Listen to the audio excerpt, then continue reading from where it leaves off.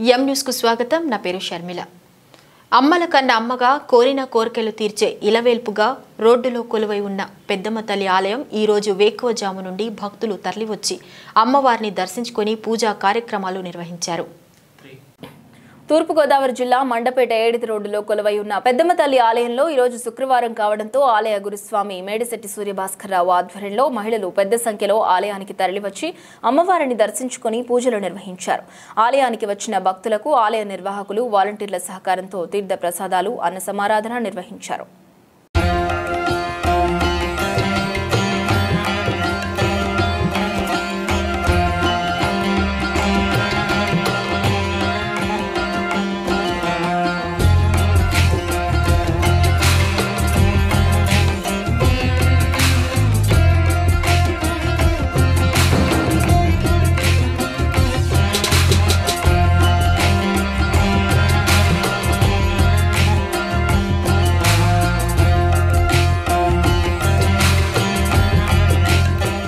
మరిన్ని తాజా వార్తా విశేషాల కోసం వెంటనే సబ్స్క్రైబ్ చేయండి.